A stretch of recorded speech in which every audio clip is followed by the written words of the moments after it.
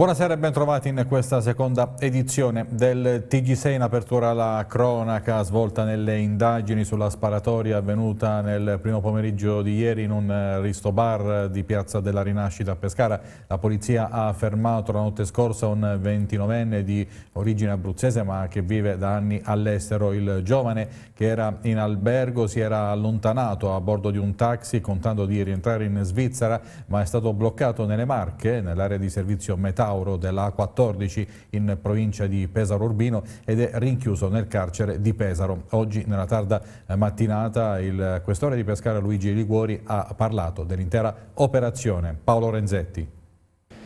C'era stata una defragazione dell'ordine pubblico ieri con questo delitto così grave e dalla eziologia abbastanza complessa non c'era un apparente motivo per cui era stato commesso questo gravissimo delitto. Quindi eh, a livello tecnico operativo abbiamo allertato tutti i dispositivi affinché questo pericolo non si propagasse in città, innanzitutto allertando tutti gli equipaggi e dotandolo ovviamente di giubbotti antiproiettili e adottando altre procedure operative. Dopodiché i nostri investigatori hanno iniziato la caccia a questo individuo che si è conclusa poi sostanzialmente nelle Marche con il brillante intervento della Polizia Stradale. Abbiamo operato, abbiamo operato una scelta di evitare che il soggetto si accorgesse di essere pedinato dalla, dalle forze di polizia, abbiamo evitato dei posti di controllo, dei posti di blocco per evitare che il tassista diventasse un ostaggio di questo soggetto, gli abbiamo dettato delle modalità operative di intervento, avendo avuto la possibilità di interloquire direttamente col tassista che ha eseguito le disposizioni del nostro funzionario e la Polizia Stradale con professionalità è riuscita a metterlo in sicurezza senza ulteriori problemi. I dispositivi di sorveglianza elettronica sia del locale sia quelli della città, c'è questo importante protocollo che sta per essere siglato tra la Prefettura e il signor Sindaco di Pescara, ci hanno aiutato nelle indagini insieme ad altri elementi che abbiamo raccolto. Poi all'interno dell'albergo la squadra mobile è giunta 5-6 minuti dopo che il soggetto a bordo del taxi aveva abbandonato l'albergo, poi si è recato in altre zone del nostro territorio e si stava rivolgendo all'estero. È lì che poi è scattata questo piano per poterlo intercettare in sicurezza. Aveva la prenotazione in questo albergo, è arrivato il 4 con previsione di fermarsi fino al 16 di questo mese, aveva sporadici rapporti con dei parenti, aveva un rapporto quasi nostalgico con questa città, c'è una componente emotiva che poi le indagini andranno a valutare che potrebbe aver inciso nella commissione di questo delitto considerati i futili motivi per cui ha sprigionato la propria rabbia.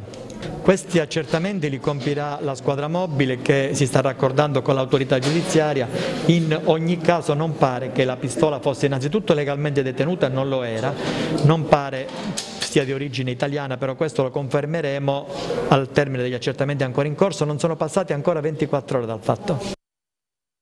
Sto contattando il servizio sanitario svizzero per farmi mandare i documenti perché il mio assistito ha comunque una eh, problematica psichiatrica. A spiegarlo è l'avvocato Florenzo Coletti che eh, rappresenta il 29enne sottoposto a fermo di polizia. Voglio capire bene che tipo di problematica c'è, ha aggiunto, per sapere se bisogna richiedere una perizia psichiatrica, se è capace di intendere e volere.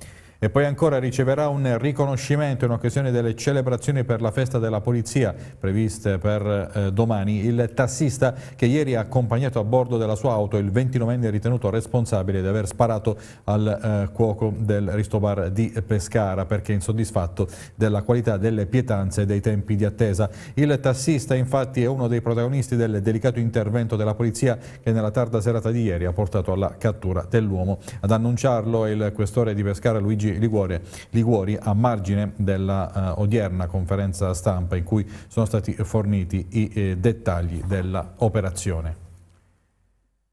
E restano gravi le condizioni del 23enne cuoco del Ristobar Gelfri Guzman di origini dominicane ma da anni eh, residente a Chieti ora ricoverato nell'ospedale di Pescara dopo essere stato sottoposto a intervento chirurgico per l'estrazione di due proiettili. Il ragazzo ha un trascorso nel pugilato, è stato tre volte campione regionale dei pesi welter e medaglia di bronzo nel 2017 eh, nelle nazionali di box. Un talento per questo sport dotato di tecnica innata, così lo descrive chi lo ha allenato. Selenia Secondi. Le notizie che arrivano dall'ospedale riguardo le condizioni di salute di Elfri Guzman ci fanno ben sperare. Davide Di Meo è stato il suo allenatore a Chieti per tanti anni e noi da te vorremmo un ricordo proprio. Mm, com'è questo ragazzo? Classico ragazzo adolescente quando l'ho conosciuto, quindi solare, poi eh, diciamo la, sua, la sua etnia San, San, Domingo, quindi sudamericano, allegro, felice, innamorato della vita. E siamo conosciuti perché lui venendo in Italia questa, raggiungendo la, la madre, aveva questo um, desiderio di quello di praticare il pugilato, un amico in comune e mm, me l'ha presentato e da lì è iniziato nostra, il nostro rapporto, ecco, perché poi è diventato uno di famiglia. E quindi da lì è nato il nostro rapporto e la sua pratica nel pugilato, quindi è un ragazzo diciamo, mm, già pronto per, uh, muscolarmente perché era già fisicato, insomma era già tutto eh, disposto per questa, questa, avventura nel pugilato. Lo descrivono come un ragazzo tranquillo? Un ragazzo a posto, un ragazzo come ho detto prima innamorato della vita, quindi eh, non, non, non, mi va che si associ in situazioni mm, brutte, insomma, che non appartengono a lui, un ragazzo devoto alla famiglia, infatti aveva poi lasciato il pugilato eh, per intraprendere il discorso del lavoro, per, per essere sempre d'aiuto alla famiglia e la, la sua famiglia diciamo, natale, i genitori, ma anche l'ultimo arrivato, il figlio. Ecco, il bambino adesso quanto ha? Mm, credo due anni, sì, due anni. E tra l'altro la notizia era che lui voleva ricominciare anche a fare pugilato? Sì, sì, mi aveva contattato estate passata che con la classica frase maestro mi manchi e voleva tornare insomma, a praticare il pugilato visto che aveva raggiunto una posizione economica tranquilla. Insomma. A questo punto gli facciamo un in bocca al lupo per le sue condizioni di salute. Un grandissimo in bocca al lupo, siamo tutti con te Elfri e sei un leone e dimostralo anche in questo caso eh, maledetto.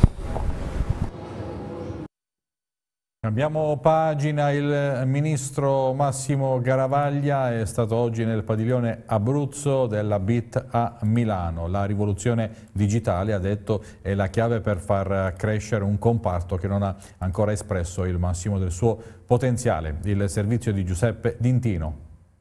È stato il ministro del turismo Massimo Garavaglia, l'ospite del padiglione Abruzzo nel secondo giorno della Borsa internazionale del turismo di Milano. Turismo italiano ha enormi potenzialità, vale circa il 13% del PIL prima della crisi, ma ha ampi spazi di miglioramento. Possiamo arrivare al 20% con tanta organizzazione, facendo come paesi che oggi sono più organizzati di noi. Bisogna essere onesti in questo, ci sono paesi che sanno vendere meglio un prodotto che spesso, anzi di fatto è inferiore al nostro. Il punto chiave è la rivoluzione digitale, non è un caso che siamo partiti da lì, abbiamo investito per primo le risorse sul nuovo hub digitale, sul nuovo portale digitale che in sostanza è una cornice unica, un linguaggio unico che però richiede un lavoro collettivo. Dopo un anno di stop causa Covid, quest'anno la fiera è tornata a svolgersi regolarmente. Il turismo dovrà essere un volano per l'economia nella fase della ripresa dopo un anno di stop e dopo di qualche anno in cui eravamo presenti in maniera un po' ridotta, l'Abruzzo torna alla BIT in maniera importante con 300, megli, con 300 metri di padiglione, eh, lo scopo è quello di fare una vetrina dell'Abruzzo, di tutto ciò che l'Abruzzo può eh, mostrare per fare felice un turista. Eh, diciamo che il, il core business del nostro turismo rimane ancora legato al turismo legato al mare, diciamo che 6 turisti su 8 che vengono in Abruzzo ancora ancora lo fanno per le nostre splendide spiagge. Tante le celebrità ospiti del padiglione Abruzzo per promuovere la propria regione d'origine. Ieri ci sono stati l'attore vincitore dell'ultima edizione di LOL Maccio Capatonda e lo chef stellato Nico Romito. Quest'oggi l'olimpionica Gaia Sabatini è collegati in videoconferenza il presidente della FIGC Gabriele Gravina e il manager del Manchester City ed ex campione di pallanuoto Manuele Stiarde. È la parte più più, più radicata in me, la, sicuramente la montagna, anche gli odori no, delle, delle, della montagna abruzzese cioè, mi, mi, mancano. Vieni, vieni, vieni ad annusare l'Abruzzo, vieni ad annusare l'Abruzzo, oh, ok, se ci sei. Io ho iniziato ad allenarmi a Teramo e mi sono spostata sempre nelle varie città abruzzesi per potermi allenare, per fare gare, quindi Chieti, Pescara, andavo a Scere, Prati di Tivo, a Campo Imperatore, quindi io sono super legata a questa terra, sono felicissima di essere qui oggi e ringrazio tantissimo appunto di avermi chiamata come diciamo, ambasciatrice perché per me è solo un grande piacere e un onore. Diamo un consiglio a un turista che viene in Abruzzo, cosa deve assolutamente assaggiare? L'Abruzzo è una regione che ha una quantità di ricette tipiche incredibili. Io vi faccio un esempio, c'è il mostacciolo, il biscotto tipico che è abruzzese. Se io vado a Rivisondoli, vado a Roccaraso, vado a Pescovo Stazzo, vado a Castel di Sangue, sono quattro ricette diverse. Se dico oggi bisogna assaggiare il mostacciolo di, cioè il comune vicino insorge, quindi allora voglio dire, assaggiamo più prodotti possibili perché l'Abruzzo ha una quantità di ricette di prodotti tipici incredibile e di grande identità. Vieni Abruzzo perché è bello, non Bruzzo! Arsiglio, fammi fare lo spot per la regione Abruzzo, perché se no qua eh, siamo ancora a Milano.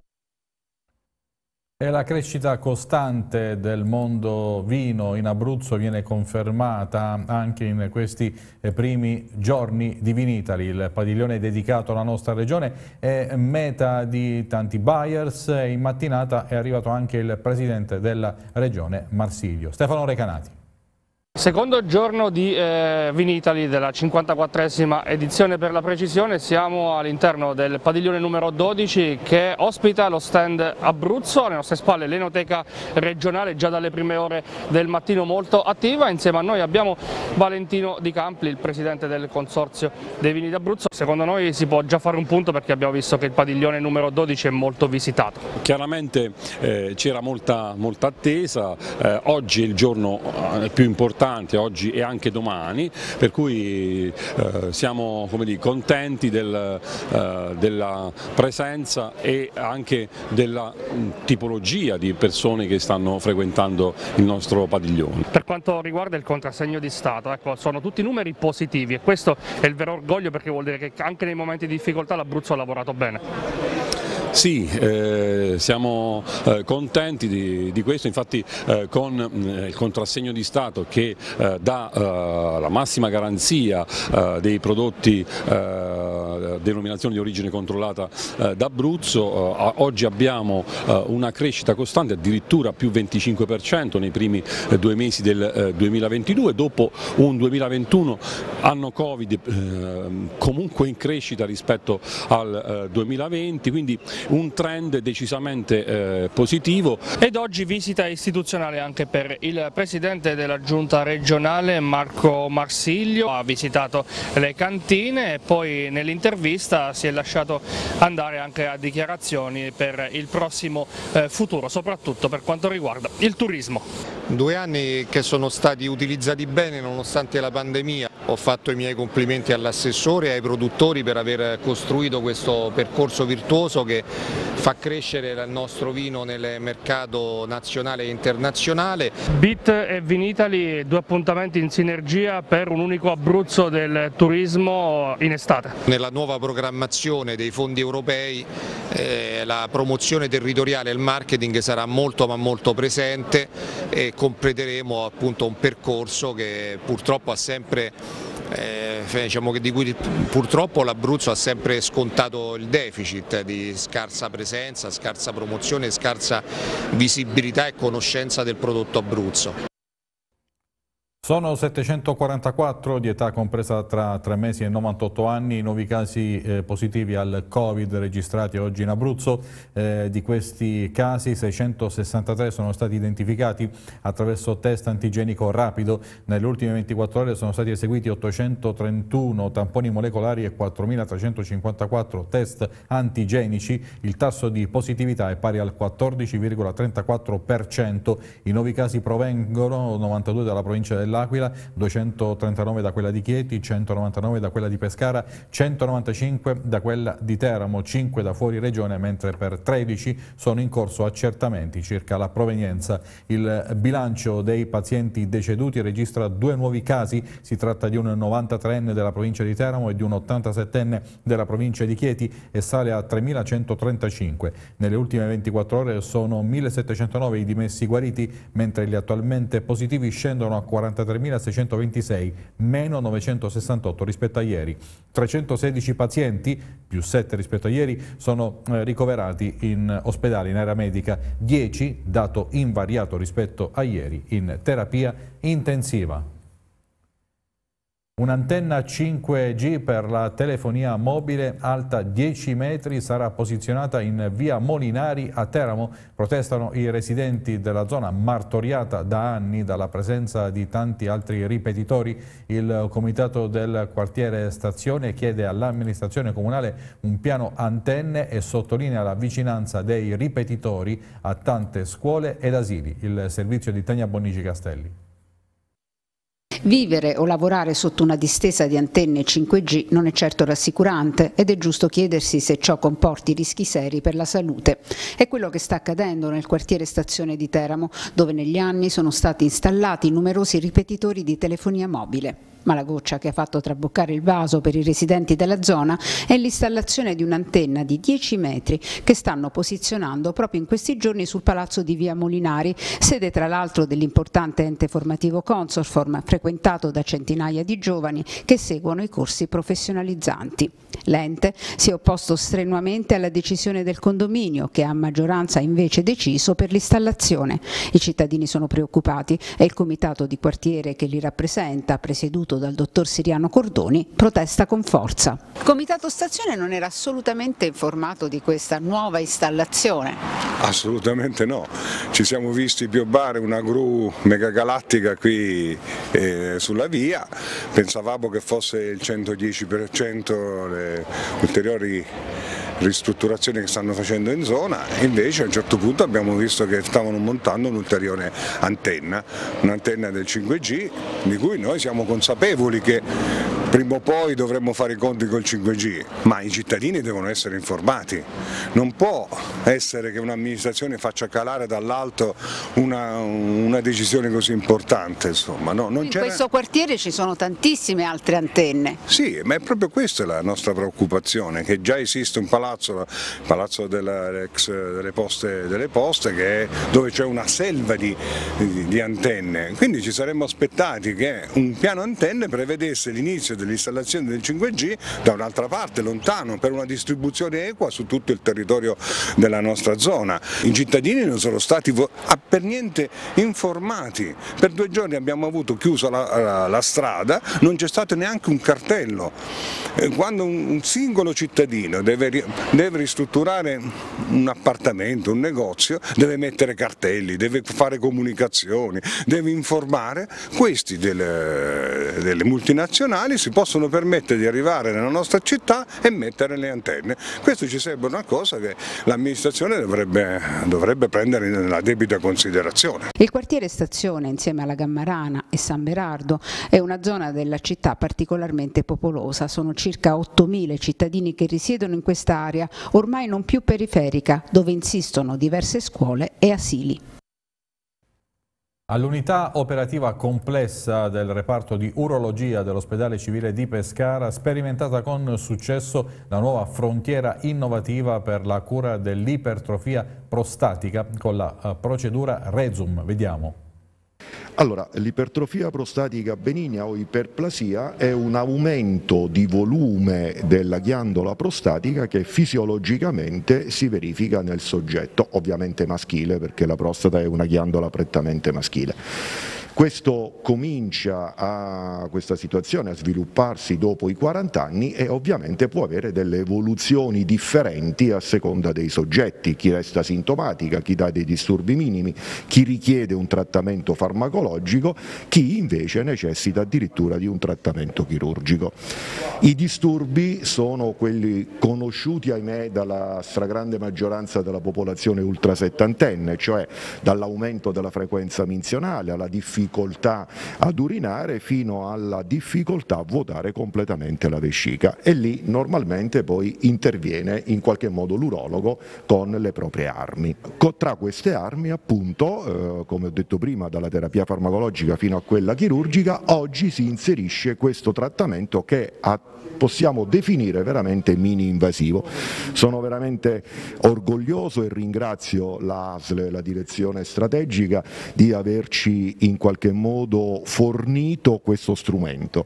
Eh, si tratta di una tecnica rivoluzionaria, cioè praticamente una tecnica dove noi attraverso il vaporacqueo riusciamo a ridurre la sintomatologia del paziente e per cui tutte quelle persone che o non possono prendere farmaci o perché sono giovani e quindi come dire, non sposano bene l'idea di una terapia farmacologica o perché vogliono in qualche modo procrastinare nel tempo l'intervento chirurgico, noi abbiamo questa, questo trattamento alternativo che ci permette di ridurre la sintomatologia, in molti casi addirittura di togliere la terapia farmacologica preservando completamente quella che è la funzione eh, riproduttiva del paziente, quindi mm, mantenendo l'eiaculazione, che è una delle problematiche che eh, spesso e volentieri con la terapia farmacologica o con la terapia chirurgica il paziente viene a perdere. E ora lo sport, Serie C, Pescara già al lavoro per la gara di Pistoia di giovedì sera alle ore 21, mancheranno lo squalificato Derisio e l'infortunato Zappella che nella gara col Grosseto ha riportato una lussazione alla spalla, probabile anche l'assenza per Memushai. Nella seduta di questo pomeriggio, al Poggio erano presenti Rauti e Illanes che sono eh, recuperati per la gara del Melania. Ascoltiamo ora l'attaccante Eugenio Dursi tra i migliori nella faticosa vittoria di sabato. Oh, va bene così, basta che si vince. Eh, pure le squadre di Serie A, la Juve vince 1-0 e porta i tre punti a casa. Eh, quello contano, i tre punti alla fine.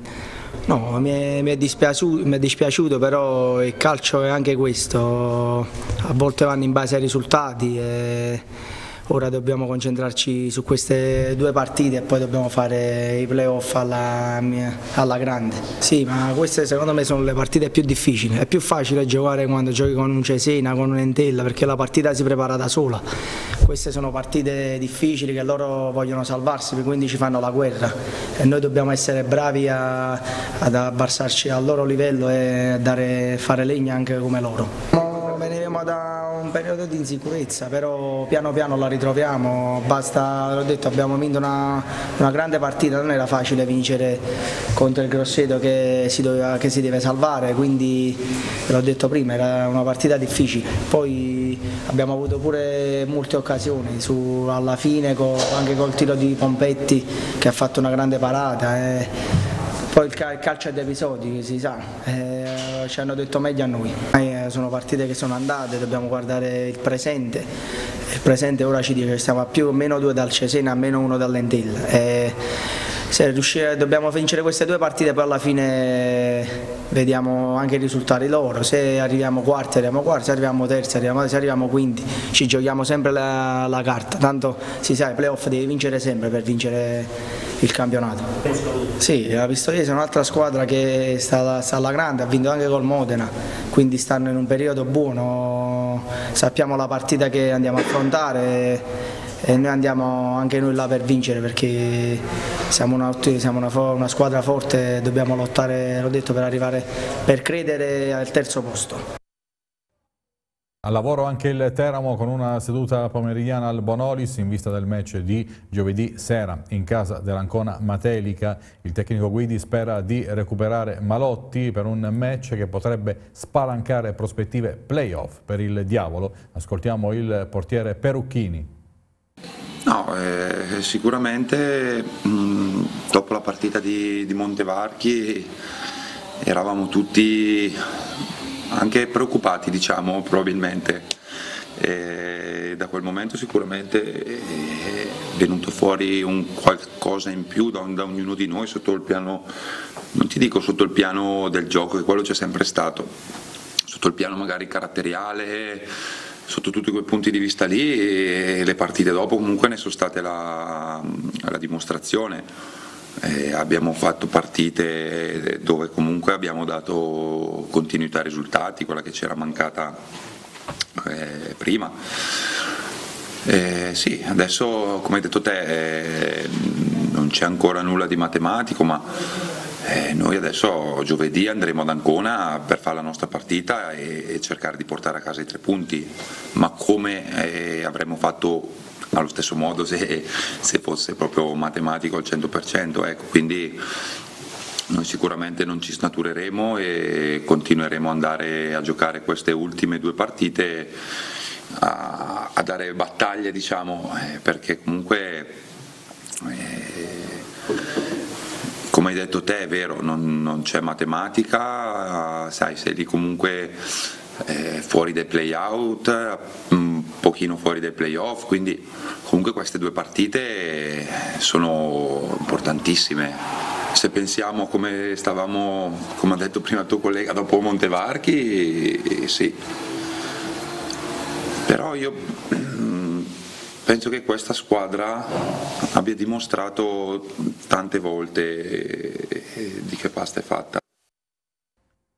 E ora la Serie D va al Chieti il derby del Savini con il Notaresco, un successo che permette ai neroverdi di tornare a sperare nei playoff per la squadra di Epifani, nuovo stop casalingo. Jacopo Forcella tenacia e volontà di crederci fino alla fine. Gli ingredienti che bastano al Chieti per violare il Savini di Notaresco, uno di quei campi in cui è difficile persino strappare punti e che invece ne regala tre alla squadra di Alessandro Lucarelli che passa 1 a 2 grazie alla perla nel finale di Marco Mariani. Un successo pesante come un macigno per i neroverdi che tornano con in valigia un pieno di entusiasmo che non fa mai male. E dire che mancava ancora Fabrizi davanti a cui si era aggiunto Bassini dietro, mentre in casa rossoblu Maio ed Esposito, seppur recuperati, partono dalla panchina, ma il senso della gara per certi versi è in un approccio subito super del Chieti che colpisce immediatamente. Il tiro di Verna dalla distanza al sesto è velenoso al punto che Shiba rimane immobile e fa esplodere i 100 e passa tifosi nero-verdi al seguito. In generale gli ospiti sono più reattivi, al diciassettesimo Aquilanti lancia El Wasni che controlla non benissimo e vede la sua conclusione respinta dalla difesa di un notaresco che si fa vedere solo al ventesimo quando Valenti invita Pampano, l'11 supera Forti ma è costretto a calciare alto dopo la chiusura della difesa. Un sussulto però perché la squadra di Lucarelli ci riprova col cross da sinistra di Pietrantonio ribattuto ancora sui piedi di Verna che stavolta non trova la porta. Epifani inserisce Blando per Diarra e trova la rete del pareggio al 43esimo. Valenti inventa per Pesce atterrato da Pietrantonio in area, nessun dubbio per Ravara e Dorato dal dischetto fissa il punteggio sull'1-1. Punteggio che traballa dopo altri 60 secondi quando Forti e Super sul mancino ancora di Valenti. Pampano in apertura di secondo tempo avrebbe il pallone del sorpasso liberato ancora dal solito Valenti ma bisticcia con la sfera al momento decisivo e la difesa del Chieti rinviene. Ripresa viva Pietrantonio prova a sorprendere Shiba col piazzato da posizione defilata, problemi che l'estremo difensore non ha quando Siragusa lo chiama all'intervento col destro dalla distanza Lucarelli inserisce Ventola per Verna e il numero 18 in transizione indirizza bene la staffilata che chiama Shiba al tuffo per la respinta. Epifani risponde con Scimia ed Esposito che orchestra quest'ultimo un'azione tutta verticale che Massarotti non concretizza come potrebbe. I tentativi sempre dalla distanza, ancora di Ventola prima e Valenti poi, sono i prodromi del successo del Chieti firmato da Mariani, minuto 89, il cui sinistro al volo dopo una respinta di Sciba è una saetta imparabile che fa impazzire la curva Volpi, trasferita sugli spalti del Savini e che non trema quando Blando con l'ultimo tentativo chiama Forti alla presa in due tempi. L'1 a 2 conferma che il Chieti è ormai squadra matura dalle armi molteplici ma in possesso, soprattutto di un'identità chiara con la quale giocherà fino alla fine del campionato. Per il notaresco un passo falso che certifica quanto questa stagione abbia l'andamento delle montagne russe, il possibile riscatto è dietro l'angolo, giovedì in Abruzzo arriva il Tolentino.